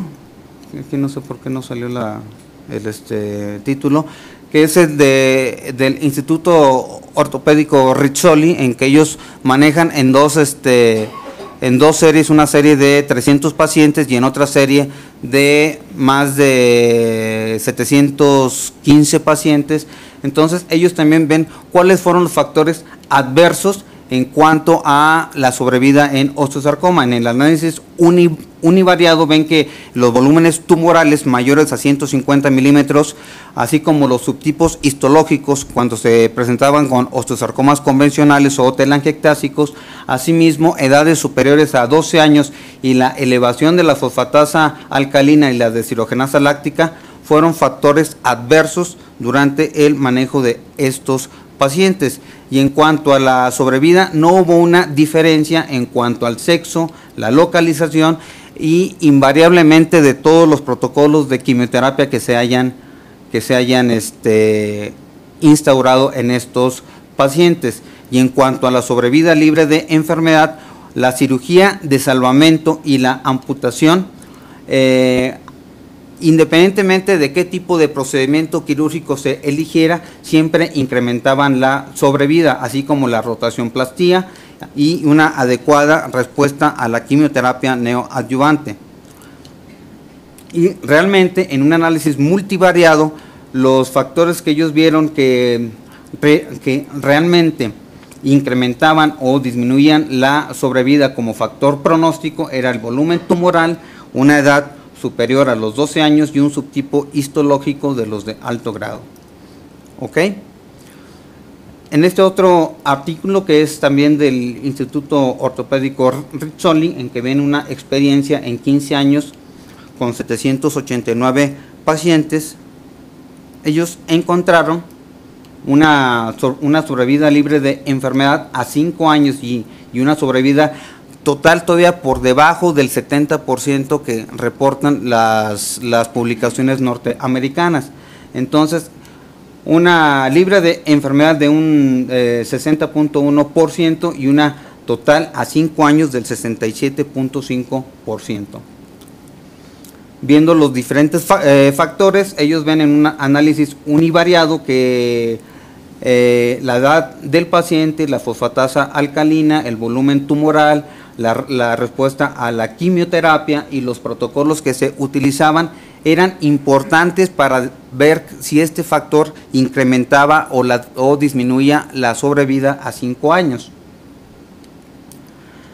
En cuanto a las recurrencias, obviamente ellos vieron que estaban directamente relacionadas con los márgenes quirúrgicos, márgenes quirúrgicos más comprometidos equivalían a tener eh, presencia de eventos adversos, esto es enfermedad metastásica, recurrencia y con lo cual disminuía la sobrevida. Obviamente cuando tenían recurrencias más metástasis tenían un 17% de sobrevida a 5 años. Eh, y en cuanto a las metástasis pulmonares, como todos eh, conocemos, pueden irse casando, pueden irse retirando, pueden irse operando. Entonces, lo que vieron ellos es que la sobrevida total iba en relación al número de las metástasis y al intervalo que se tenía entre cada uno de estos eventos. Ya en un análisis multivariado vieron que eh, lo que realmente influía en la sobrevida como factor pronóstico, una edad mayor o superior a los 14 años, los niveles altos de la fosfatasa alcalina después de cualquiera de los protocolos de quimioterapia, volúmenes tumorales arriba de los 200 mililitros, eh, les iba mejor con protocolos de, quimioterapia basados en dos o en más drogas. Eh, cuando tenían márgenes inadecuados, obviamente este tipo, eh, esto representaba uno de los principales factores pronósticos adversos en la sobrevida a 5 años, al igual que la pobre respuesta a la quimioterapia neoadyuvante. Otras citas encontradas en este libro, que es el de Vita, la novena edición de el, el, novel del este, 2011, le dan mucha importancia a los niveles de la fosfatasa alcalina. Estos niveles ellos eh, mencionan que están directamente relacionados con la actividad tumoral y con la sobrevida. Obviamente, niveles elevados después de adecuados protocolos de quimioterapia en que no hubo una adecuada respuesta. Recordar que la biología de cada uno de los tumores es diferente. Entonces, si no tenemos una adecuada respuesta, esto es un factor pronóstico adverso. Además, Bashi reporta que las elevaciones de la fosfatasa alcalina en pacientes con poca respuesta a la quimioterapia neoadyuvante siempre tenían una sobrevida menor a 5 años que aquellos que habían tenido una adecuada respuesta.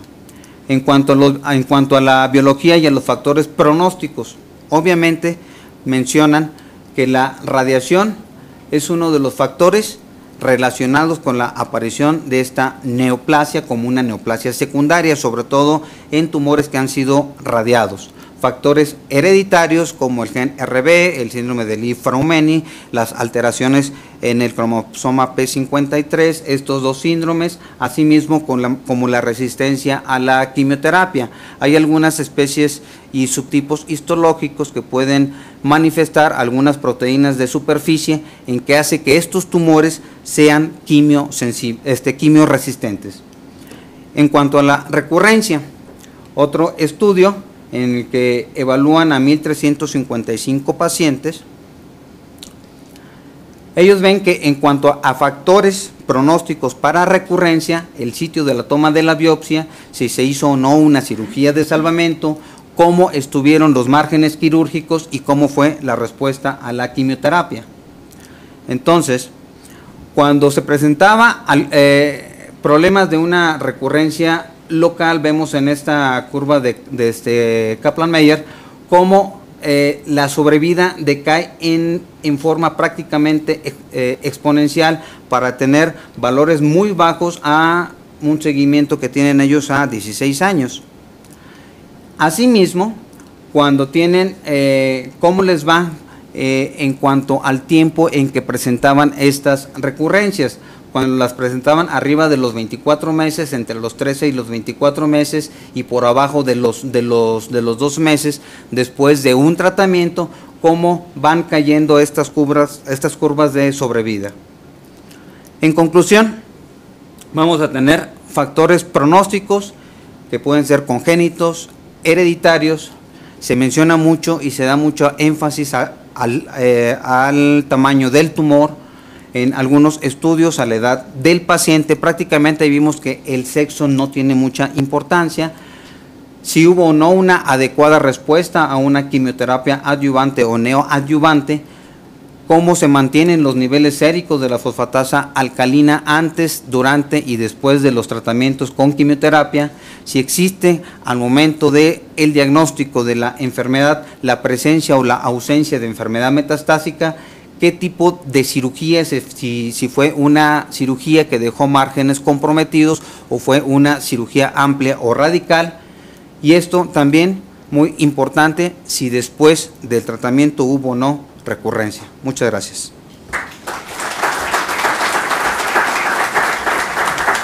Gracias, doctor. Le vamos a pedir a nuestros ponentes pasen al frente, por favor, pues, para contestar dos o tres preguntas únicamente por lo obvio del tiempo por favor. ¿Alguna pregunta? Sí, doctor.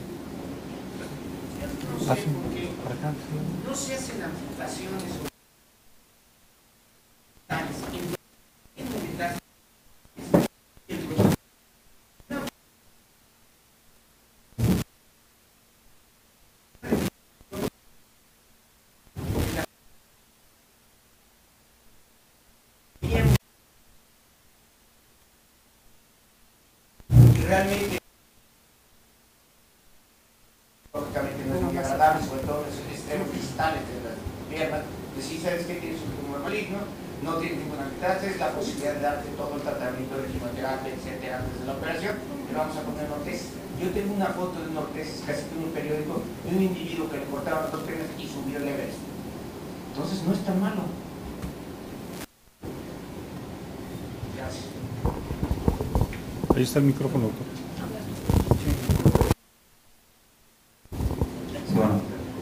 Eh, definitivamente los procedimientos radicales son buenísimos.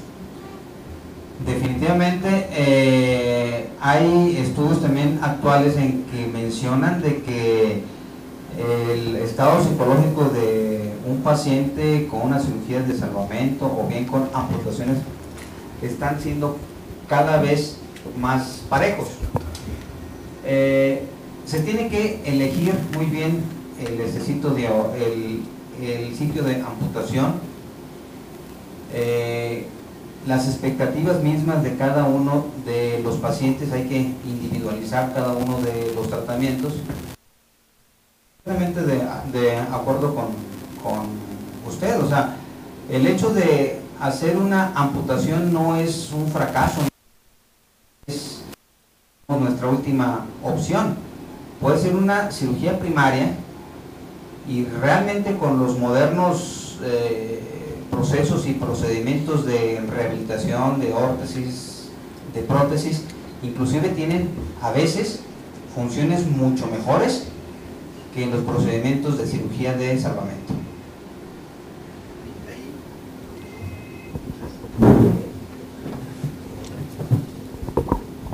Teniendo en cuenta lo que ahorita acaban de preguntar y todo eso, entonces yo preguntaría lo siguiente. ¿Hay estudios en que se hagan comparaciones entre pacientes que fueron sometidos a amputación y pacientes que fueron sometidos a cirugía conservadora en cuanto a pronóstico de vida? Y no hablo a 60% a 5 años, sino a que vivan, a que vivan 10 años, a que vivan 20 años, a que vivan 30 años. ¿Hay diferencia entre si- en los que se hizo amputación o cirugía conservadora o no hay estudios? No sé. Perdón, voy a tomar la palabra. Este, revisen la, el acta médica, digo, perdón, el, el acta ortopédica, aquí en el mismo colegio, no tiene más de tres años, hay una publicación en la doctora Refugio Pacheco y ella habla precisamente de, ella estaba encargada del servicio de amputados en el Instituto Nacional de Rehabilitación. Entonces, ¿qué es lo que sucedió? Ella analizó todos los pacientes de los que teníamos nosotros amputados, pero aparte los que le llegaban de otras instituciones para la, la rehabilitación. Ahí habla sobre la calidad de vida. Es un artículo interesante, no es muy largo, pero sí es interesante el, análisis que realiza el doctor Refugio Pacheco y este, no tiene más que hacer, no reposa cuando entra la... Y es nacional, no, no es extranjero, es nacional. Sí, sí, hay diferencia. Eh, Ella, lo que habla es de la calidad de vida. Yo creo, doctores, que si vamos a pensar en esa forma, vamos a dar un retroceso hasta a- año- antes de la quimioterapia. Como tratamiento primario, se morían el 80% cuando no tenían quimioterapia. Sabemos que de acuerdo a márgenes, la que da mejores márgenes, pues es precisamente una, una amputación, una cirugía radical, porque en este momento estamos quitando prácticamente todos los compartimentos. Los estudios que se han hecho, cuando se toman todos los parámetros que ustedes ya vieron, los márgenes correctos, una quimioterapia con buena respuesta, un paciente adecuado, tienen exactamente la misma sobrevida un paciente con una cirugía conservadora que con una cirugía radical. Nada más que no es lo mismo tener una extremidad desde el punto de vista físico y psicológico que ser amputadas. No desconocemos que las amputaciones pueden ser muy buenas, porque inclusive las amputaciones tienen también un arte para hacerlas. No se deben de hacer amputaciones con muñones flojos, sino si no tienen ninguna infección, una amputación tenomioplástica es la que da mejor resultado porque le permite al paciente moverse rápidamente y en cinco días tener una prótesis temporal y poder caminar perfectamente bien. Yo creo que es muy importante que valoremos. La medicina ha evolucionado y el hecho de tener actualmente alternativas de tratamiento, no debemos nosotros de olvidarlas. La amputación se deja reservada para aquellos casos en los cuales se fracasa y en un momento dado este, tenemos que recurrir a una cirugía con márgenes más amplios. El doctor había pedido antes la palabra. Doctor, el micrófono. Eh, me dicen que es la última pregunta. Yo veo este tema muy importante, importantísimo. Y yo le doy tres eh, valores. El primero, eh, que debe ser esta plática. Claro, aquí todos somos ortopedistas, pero el primer nivel es importantísimo para que tengan estos conceptos. La sospecha. Yo trabajo en un hospital. Entonces, llegan pacientes ya complicados, que pasan por el primero muchas veces al segundo nivel de atención. Creo que es un tema, en, en el Congreso hubo una plática para médicos generales. Fueron pocos médicos generales que fueron, eran- éramos más ortopedistas que médicos generales. Y último, la biopsia. ¿En qué momento está indicado y qué tipo de aguja hay que hacerlo? Porque es una aguja gruesa, ¿qué tan gruesa? ¿Quién de ustedes? ¿Dónde está el micrófono?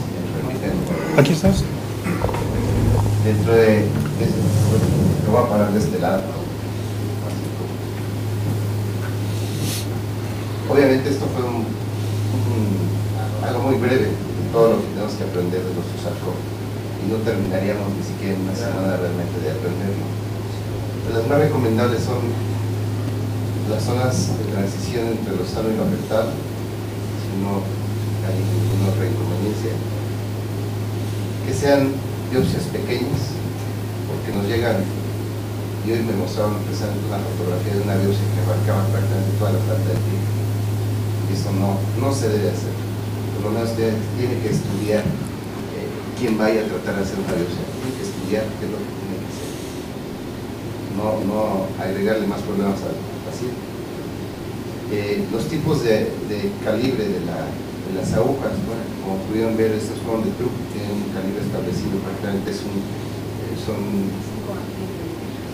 no, en cuanto a la, la truco, es eh, de 2 milímetros el diámetro prácticamente, lo largo pues, es dependiendo del tipo de tejido, pero truco es más para tejidos más blandos. La trefina o algunas otras agujas que son exclusivas para biopsias, no digo marcas, pero hay, hay varias marcas, tienen por lo regular eh, una medida de que le llaman 11 GA, que es el diámetro. Entonces, con esto, patología con una buena muestra, siempre adecuada, va a tener un buen, una buena zona representativa y nunca ir hay que ir hacia la zona de necrosis. Eh, les dejo la palabra a mis demás compañeros. Sí, en efecto, el momento de realizar una biopsia es planeado con todo el equipo multidisciplinario que debe de ver. El hecho de que este tipo de lesiones van a tener osteoide, van a tener eh, tejido como necrosis, algunos tienen degeneración quística. Todo esto hay que verlo en los estudios preoperatorios para poder determinar no solo cuándo se va a hacer, sino dónde en la parte del tumor voy a tomar mi muestra sea más representativo para el estudio de la anatomía patológica. Desafortunadamente, eh, la, la es una aguja débil, como ya lo mencionó Linares, no es una aguja que resista al pasar al, osteoide. Se prefiere las trefinas y estos de diferentes calibres, y si una trefina que pueda realizar un corte adecuado y tenga material suficiente. Pero también eh, en cuanto a dónde voy a realizar mi, mi biopsia es muy relevante. La biopsia sería otro capítulo y para concluir yo les, les quisiera decir, como comenta el doctor Morfín, para llevar a, para llevar a casa, el osteosarcoma existe, es una entidad maligna de alto grado, la cual nos puede matar al paciente, podemos complicar nosotros mismos al paciente y no todos los pacientes son rescatables ni todos los pacientes deben ser amputados. Yo quisiera decir lo último. La biopsia es la cirugía más importante. De ella depende todo lo demás. Gracias por su participación. Están los diplomas, ¿verdad? Agradecemos a todos de, del cual el foro. Por último, eh, tenemos una- unas palabras del portador de nuestro colegio sobre lo de los seguros que les mencioné hace. Sí, muy buenas noches. Eh, como les mencionaba, eh, esta noche tenemos a nuestros asesores de seguros que van a estar aquí en, la, en el área de recepción.